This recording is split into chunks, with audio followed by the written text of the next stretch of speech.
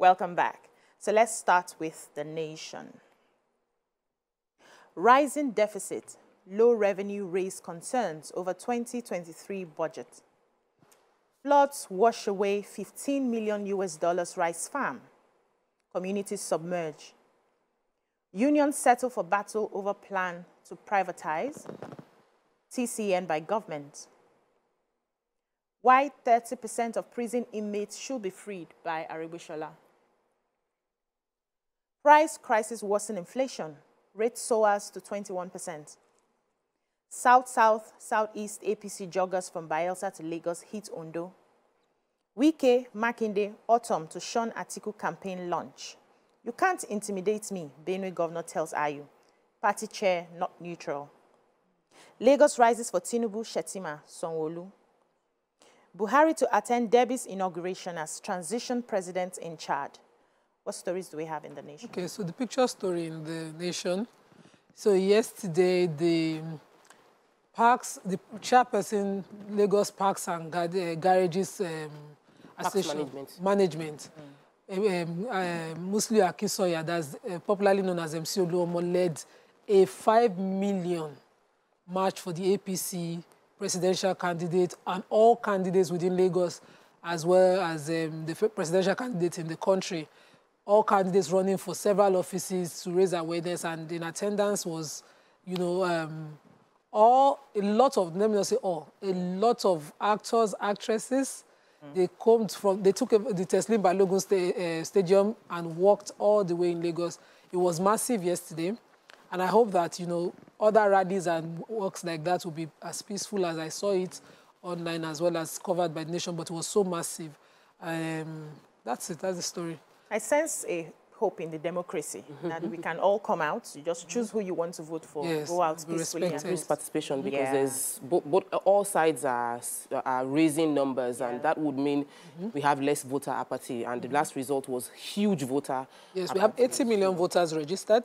Mm. Um, PVCs collected as well, according to Yeah. NAFDAC. So this, we have 80 million guaranteed votes that we're looking at this. Um, And we hope to That's get at least 50% Yeah, some people show haven't up. collected their yes, PVCs yes. yet, So I want to take the story of price increase. Um, price increase is going to worsen. Predictions, according to financial and economic experts, are saying that from Bismarck Rewane of um, financial derivatives company to Cordros Capital, also saying that the based on the current inflation rate, which is 20.5%, uh, 20.52%, which is the highest inflation we've had in 17 years, it is still going to go up.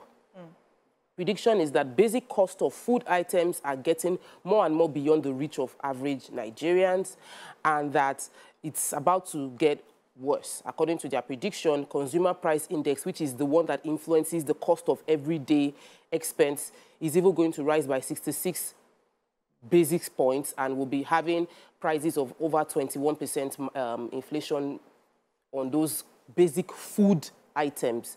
Now, when I read this from experts, I'm wondering what is our government going to do? We're still creating a budget that we're borrowing against. It doesn't look Is there a plan like to this. take us out of yes. this? And, you know, Christmas is coming on. So um, we have, I have the story of the flood. So um, $15 million worth of rice washed away, according to this story. This story takes a complete um, um, look at all the areas flood affected. Said that um, areas like Delta, Imo, Bayelsa, Rivers, Kogi, and um, farms in due to the dam opening, the Lagdo Dam in Cameroon, there was flood in these areas, and I got videos from Isako Central in my own Wow. area where I'm from in Edo. It was bad. Houses buried, two-story buildings, Buildings buried, buried. in water, Whoa. and we also farm rice in that area, and so flood affected.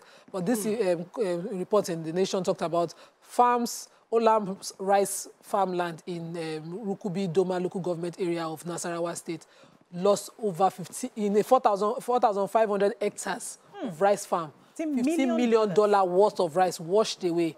That's not only the uh, amount they washed away um, infrastructure like dikes, canals, things worth $8 million. The losses suffered across board. The story also carried that Peter Obi has reached out to commensurate with people who've lost their livelihoods and lives at the, uh, in the flood in, seven, in Imo. 17 Imo communities were, you know, displaced. 3,000 people displaced. 17 Imo communities, uh, um, uh, Rabi, sacked by the floods as well. Mm. Yobe also, you know, NEMA has uh, their account of it. In Delta states, five local governments affected by the flood. This is nationwide. This is mm. a national emergency. I'm here to hear the Minister for Agriculture talk about what is happening. I'm here to hear the President issue an immediate because oh. this is like insecurity yes, to prevent yeah, to prevent crisis. Because there's certainly and this is rice shortage. As we see now, we're selling rice at thirty thousand naira, fifty kg bags for local rice. I bought for forty. I said thirty. Sorry, thirty-eight thousand naira, mm-hmm. fifty kg bags uh, of local rice now as we speak now. So imagine what it will be because farmers have months. lost livelihoods and what things are going to be. There's no paddy. okay, really let's sad. move on now to the punch. Federal government borrowed 22 trillion. Foreign education gulped 609 million dollars. CBN. Muslim Muslim aggrieved APC Christians to dump Tinubu Shettima. Controversy surrounds alleged release of 101 Boko Haram terrorists. Presidency. Atiku governors. Ayu begin campaign in Uyo. Forex scarcity hits gas suppliers price hike imminent. Dangote, shareholders knock Kogi, group alleges exploitation. Federal government plans 1.35 trillion war chest against Boko Haram and bandits. To acquire fighter jets, ammunition, budgets 1 billion for terrorist prosecution. IG embarks on road patrol in northern states, promises adequate security. NDLEA seizes 1 billion tramadol at Lagos airport. Hoodlums rape Kwara varsity students arrested with 87 phones. Internet fraudsters contact Facebook herbalist dismember man for ritual. What stories do we have in the punch? Okay, let me take Dangote quickly. So, um, Kogi State government, as we know, over the past week, shut down Dangote cement in Obajana, and you know they're claiming ownership. impact they are claiming ownership of that um, um, infrastructure or the, the, investment there. They're saying that Dangote should come forward with his papers. I expect mm. that by now Dangote should have gone that to court. presented the papers. But he hasn't gone to court, you know, to forestall any of the harassment they're claiming. to court, he should present the papers first now. Eh, to who now? He goes to court and establish and But court, it's the state that is asking him to eh, present. court that he will use to... Well, if you, even if he was going to present it to the state, by now he should have gone to court. First of all, but get an injunction to stop the abuses by the office. Yeah. But the president of the Association for the Advancement of the Rights of Shareholders and some other, I think NANS as well, are, you know, against the government, saying that, you know, you um, according to the spokesperson for that, for the Shareholders Association, Dr. Umar Farouk, he says that um, the, the government cannot create employment opportunities and economic empowerment for the local uh, community in Obajana, yet they went to shut down uh, uh, such an investment. And I'm wondering... is creating employment for them. Hmm. If Dangote legitimately bought that investment, we don't have any issues. So let's not join issues here. Mm. He's an investor. He has a property, a business there. By now, he should be in court. Let's not petty drop the issue. sentiment. I am even amazed. Are, you sure he's not in court though? I hope so. I hope so. I've not heard any of that. I, am amazed that the government is just shutting down that. that that's that exactly. So it shows fishy. witch hunting. Uh -uh. They may have but just been. If they have they legitimate grounds. It's possible that you yes. just realize you're you're checking your books. It's time to sign Honestly. out, and then you wake Honestly. up. Now when you want yeah. sign out, and now when you want sign out, which. Yeah. Let's take a short break. When we come back, the newspaper reviews continue. Stay with us. Thanks for staying with us. So I need to take the this economy this economy mm. the economy. Oh my goodness! As in, so there is um, likely going to be due to the forex scarcity. All of us know forex is not available. There's going to be price increase in gas. Mm. We misplaced priority case again. According to the national operator operations controller of the Independent Petroleum Marketers Association of Nigeria, that's IPMAN, Mike Osatuyi, he chatted with, um, had a chat with Punch yesterday, and he explained why gas prices will go up. That the people that are buying gas into this country are buying dollar at the local black market rate. So he said um, about a month ago, it took 11 million naira to buy 20,000 20, metric tons of gas. Mm. But that same 20 metric tons now cost 12.30 12.3 million naira. So they buy so it at the black market and it's, black market it's more expensive, right? More expensive. So why isn't the CBN Mm -mm. giving we are an opportunity giving for them to that buy? are going to school abroad. oh, abroad. you see the problem? Dollar is going to school for those that are abroad. But we are not. We're not giving to our local businessmen to grow our economy. You see the us. So problem? rice is going to be expensive. Gas is expensive. Not going to be top. I bought rice 40,000 naira Let's last say top no, you never buy gas. I never buy Never rice. buy gas. Gas, I buy I 10,000. never buy rice. Rice I- my rice has finished. I need to buy They rice. had to. I didn't know why they were rushing my rice. I didn't know that prices had gone up. We will eat yam this I Christmas. People should get ready. We'll eat yam, Even boil it, not roast the it, fry. So the economy, we, we need to sit up. So part of the story also meant that that um, the, the, there's a lot, there's a feed gas constraints and high maintenance activity are part of the causes as well. So, um, the expert also cited that NLNG six-train Bonny plant had dropped to 16.8 million tons in 2021 from 20 million tons. So the production is dropping because of, of course, we know bunkery, as well as demand is increasing and forex is scarce. Just a painful here we are. So police operatives from the Kwara State Command on Sunday said they arrested three suspects who allegedly robbed and raped some female students of the uh, Kwara State University Malete in the Moro local government area of um, Kwara State. So the suspects are Ridwan Abdul Fatai, Ibrahim Akorode, 25. Ridwan is 20 years old. Aliyu Apalado, 25. All from Oke, former area in Ilorin. And um, they got um, some of the students, female students, complained to the police that um, they had um, robbers come into their hostel, raped them, and carted away with their Oh properties. And so the police carried out an investigation, clamped down on the robbers. They arrested one, two of them escaped, and um, with investigation, they were able to get the remaining two. And they recovered a lot of things. Say 19 iPhones, six handsets, three iPhone uh, 11, uh, 16 iPhone 6 Plus, plus five iPhone XR and other telephone handsets, altogether totaling 87 handsets, 10 laptops, hmm. two television sets were recovered amongst other things. Let's quickly move on to the Sun. Clergy's wife, two children, two sisters found dead in Enugu. Gridlock as Lagos NURTW rallies for Tinubu. 2023 presidency, Dogara, Babachir, Muslim leaders adopt consensus candidates. NDLEA intercepts 2.4 million tramadol at Lagos airport. NAFDAC warns against four deadly cough syrups in circulation. Gunmen kill DSP, inspector, community leader, nine others in Plateau, Imo, Enugu. Abduct four farmers in Oyo Farm settlement. Abia to relocate phone dealers to new markets in January. APC to release amended campaign council list this week. Kogi students, Dangote shareholders dif- differ on developments at Obajana Cement Factory. What stories do we have in the Sun? NAFDAC. Okay, so um, NAFDAC has raised alarm over this four cough syrup uh, named as promethazine oral solution, cough, Cofemax, ma, Kofexmalin baby cough syrup, Mac cough baby cough syrup, and Magrip and, and cold syrup. Uh, NAFDAC is warning us that 63 children have so far died following the use of the four substandard cough syrups as reported by the WHO. And this happens, you know, of course, the one that is circulating in Gambia with the possibility of finding its way here. They're warning us to, as parents, to stay off it. I, said, I heard someone criticize Even the importers. NAFDAC as saying, is it just warning? They should be already be at the border stemming importation of, uh, Yes. you know, but we know Yeah, sometimes they will bring it they in. traffic these things. So now that you know, they have told you the name of the drugs, be check. In fact, these cough syrups were made in India. Personally, State of India produced drugs for now. For now. Because So they should have been regulated America? in India. Which Yeah. one do you now buy? You, if India, if you uh, reach drugs too are much, cheaper. a cough is a viral infection. Give Take it some ginger. time. Over time. and give your children a lot of water. Ginger, garlic. If you don't even want to let follow us to buy ginger, we But I was, I was when I read the story, Stay I was thinking, so this can happen in a place like Gambia. Is it that their NAFDAC there did not check because they're supposed to check before it's released? Into the No, into let's the even society. blame India where the production happened. That was what Dora Akunyili did. She went to the source. Yes, From the source, your, with your, uh, your regulation should have made sure that there are no such substandard factories producing medicine for anybody in the world.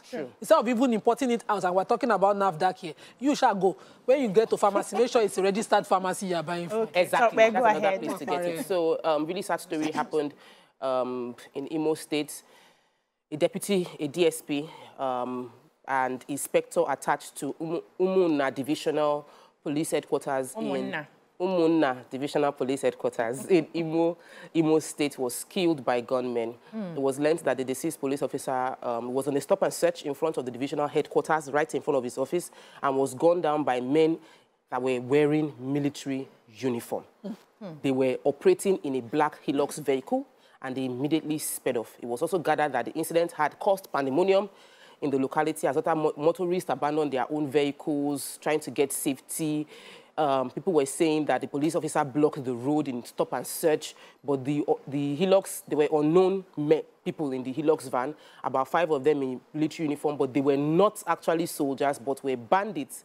They now opened fire on the police officers. Um, he also added the, the it, people, it generally caused a lot of challenge within the area. I'm, I'm, I'm really worried because now you're looking at, if you're, if you're if you're looking at someone wearing a military camouflage, you're, you you're should be sure. safe. Yeah. You know, but now sure. you're worried. You don't know if he's an armed robber, you don't know anything. So Abia State government has directed dealers on telephone and its accessories to relocate to the newly built GSM market at Eche Road, Aba, from January 1, 2023. According to the Commissioner for Trade and Investment, John Oki Kalu, he disclosed this during a meeting with the telephone dealers in Aba, explaining that the new markets uh, work has been 90% completed, so they should get ready to move. Then he also said they have a rehabilitated Ngwa Road, which leads to the new markets, and work will still soon comment on other links uh, to the market road so that it makes easy for you know, uh, commuters who are going there. Then he um, gave a warning. He said that um, they will no longer tolerate the conversion of residential buildings along St. Michael's Hospital, Pound Park, and Jubilee Roads into shops by telephone dealers. The plan basically is to ensure that they have specified uh, specific markets for sp some products. So, you know, this is GSM village, this is another village and all that. And the government has tried to do that for them.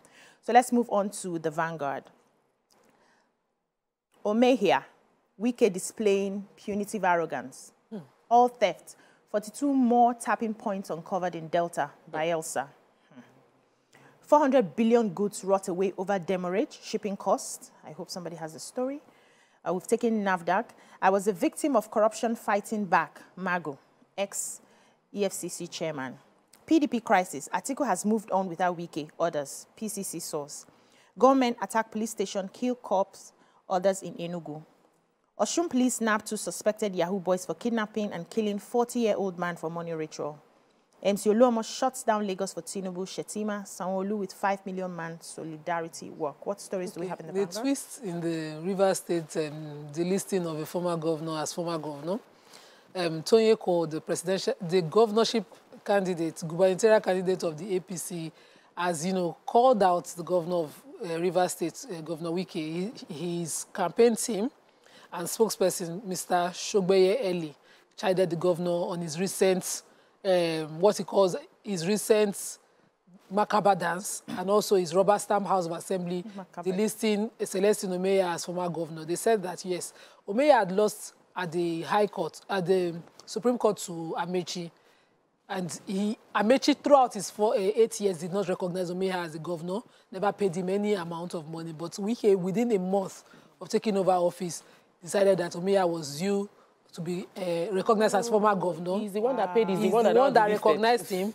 And now that things are falling apart for them, he decided to use the same rubber stamp Politics. House of Assembly. This is so ridiculous and annoying to, to be the same one who now recognized the uh, Mume and then said, you know, unrecognized him and asked him to pay back what he's been so entitled. And all this while when Amaechi was governor, Meya took his loss jejeje and went to rest. Mm. But you brought him the honor and then dehonored him as well. Again, so they, wow. and he's also referred to Wike passing a, a what he calls a, a, an executive order 21, which restricts the use of public schools for campaigns, saying that he will not be cornered by Wike and his a high-handedness. Mm. No so permanent friends, the... no permanent enemies in politics. Yes. Yeah, Same the pain, is ah, Go ahead, talk Major headline. So um, this report was done by Vanguard. Um, they learned that over 7,000 containers have been abandoned at the ports. The total value of the goods abandoned there is worth 400 billion naira. And the reason for this is the difficulty in clearing the manual process with which Nigerian Customs Service um, use in checking the vehicle. They said uh, manual cargo inspection by the Nigerian Customs Service, and the rising cost of clearing associated with corruption and the exchange rates volatility are the main things that have caused this. So every day you're paying um, an approximate um, 20,000 naira per day for containers, while that's from the shipping company, while the ch direct charge from terminal operator is 12,000 naira. So there's difference of about 8,000 naira, and each day is accumulating.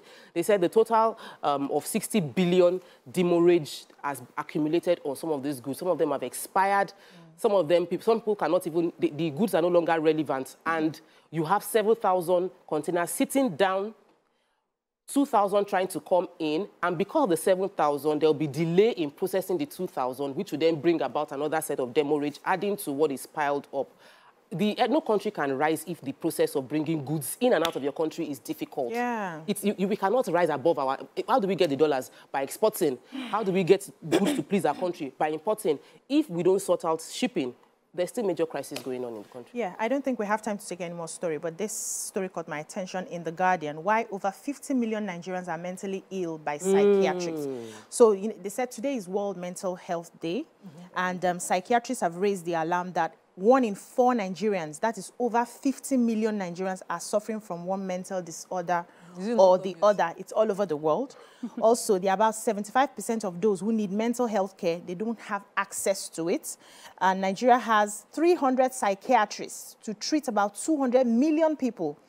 And Africa has one psychiatrist for every 500,000 inhabitants which is 100 times less than what the World Health Organization the truth has is our pastors are also psychologists. No, no, they are not psychologists. So I don't know how we're going to solve this issue. Are we going to get more people into schools and, you know, and force them to study um, psychology so that they can better we help a lot of life people. coaches who are we do, but people still don't understand the need to approach them for in your the pursuit of each person's happiness that this madness comes. They mm. just make this country worth living. Abi. All this Oyibo, this big, big English. But Oyibo people too See what all we those sit through now. traffic coming to work. Yeah. If you reach there, you go down the Colossus. It's enough to depress somebody, honestly.